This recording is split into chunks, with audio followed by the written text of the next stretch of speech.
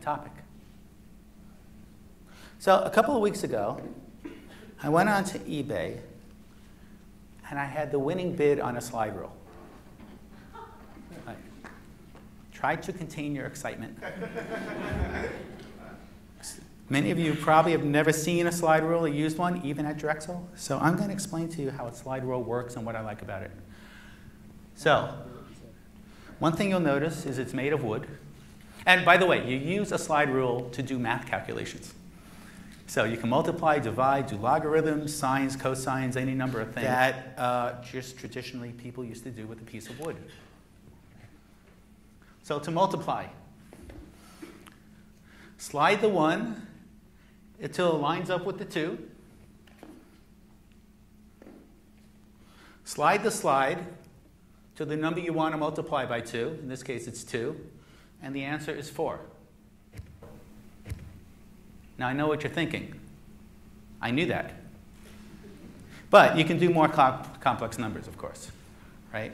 So one of the things I like about the slide rule is what you see in front of you when you pick up a slide rule is every number you can possibly think of in the universe right here written on this piece of wood. Not only that, it's graphically beautiful, and it will show you logs and exponentials, etc. if you're interested and if you really want to see these things play out. Compare that to a calculator, where when you pick it up, it shows you nothing, and when it turns on, it shows you a zero. Or to an Excel spreadsheet, which is a vast wasteland of nothingness and despair. Okay, here's a problem that I felt was going on in my math class. Here are two equations, the same equation. Now, in both cases, the answers are wrong. Right? The answer should, of course, be 73. But if my answer was the one on the left, 72, I'm only off by one. If the kid next to me says 63, he's off by 10. He is 10 times as dumb as I am. Yet we got the same grade, and that made no sense to me. Which leads me to this my feeling on math is that while numbers are digital, math is analog. And this point was not lost on Pythagoras, who was horribly obsessed with the triangle, but that was not his only obsession. So you probably know Pythagoras from this. The Pythagorean theorem, a squared plus b squared equals c squared. Right? Familiar to everyone? Any engineering students out there? Yeah? Okay.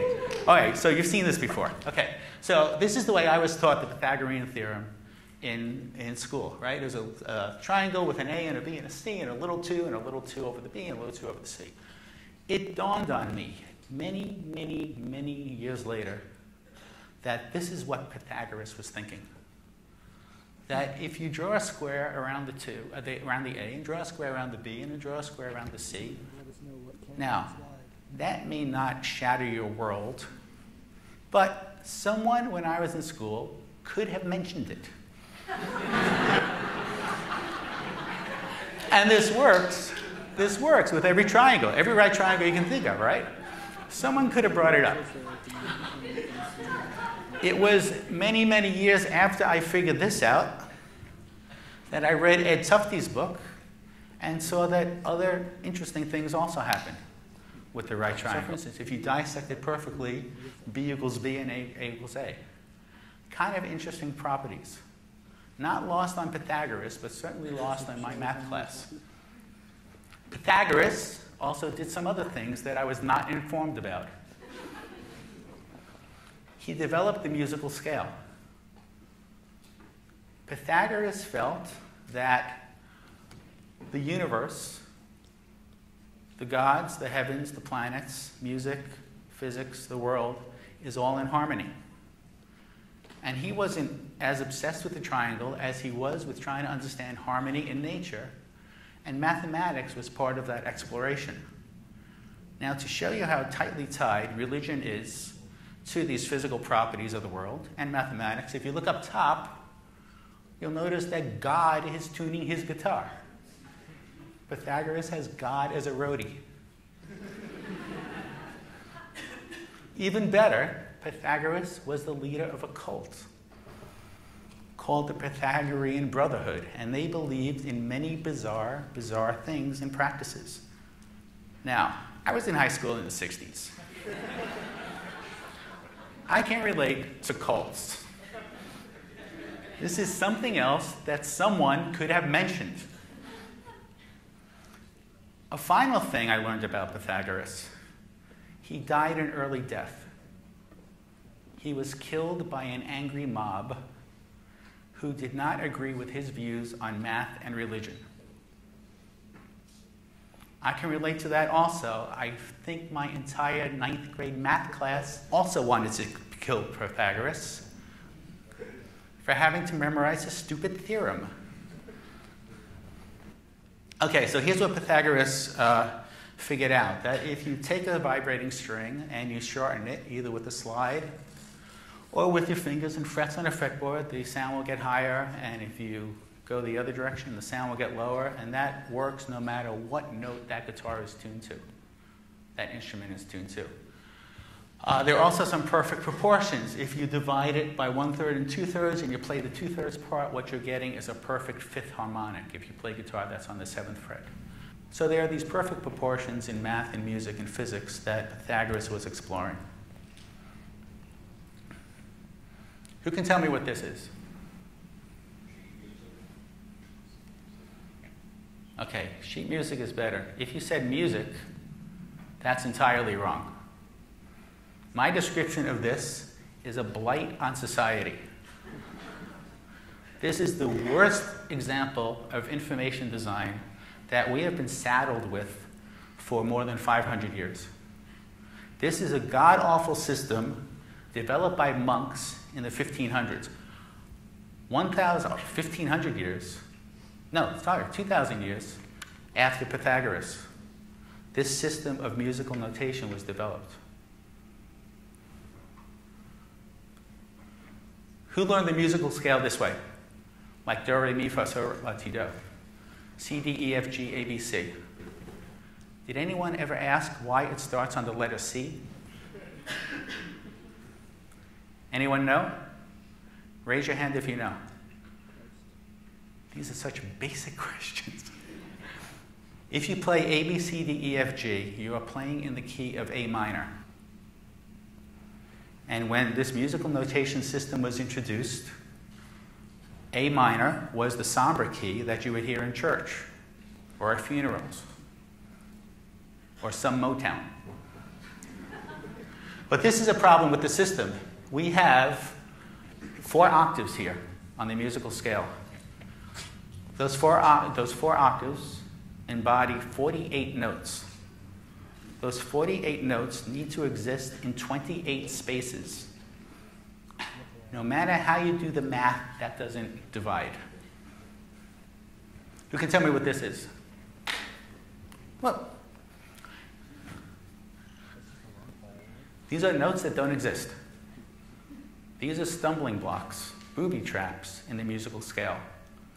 There's no such thing as a E sharp or a B sharp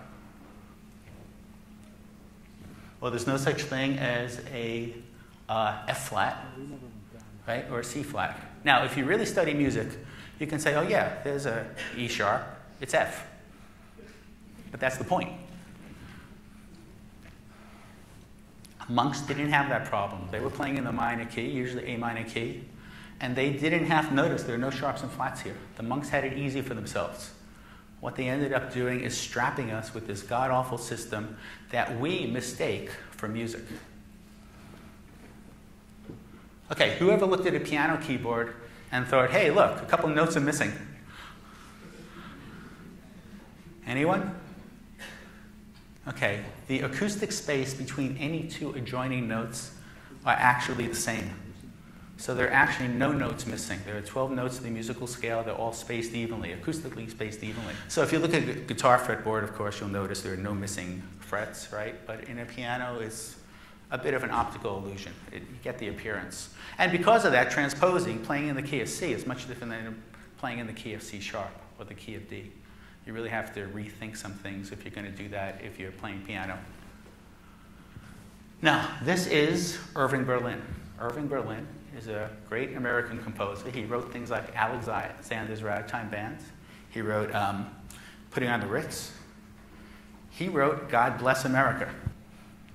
This is a very early photo, and if you look to where Irving's fingers are, you'll see he's on the black keys. Irving Berlin only played piano in one key, and that was the key of F sharp.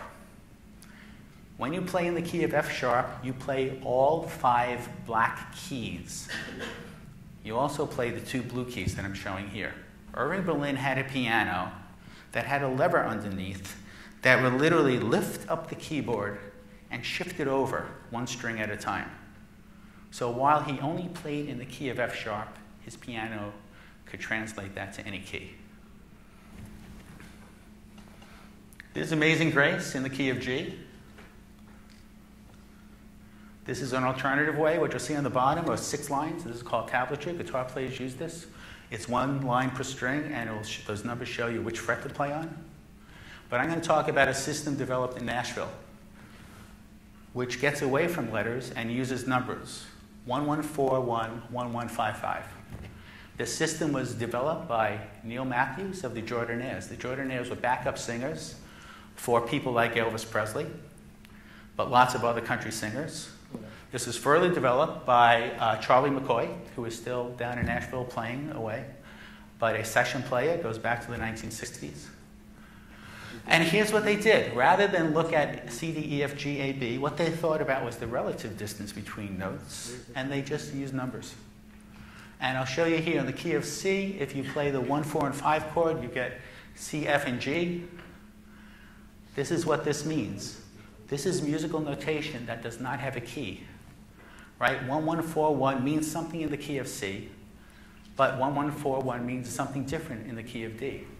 And that means when the Jordanaires or anyone was, was playing the same song with different singers, they only needed one arrangement. This is a keyless system.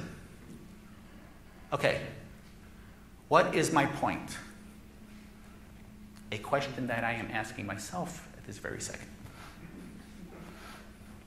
Okay, so you go back like 2,500 years. We got Pythagoras thinking of art, music, math, the universe, embodying it all at once.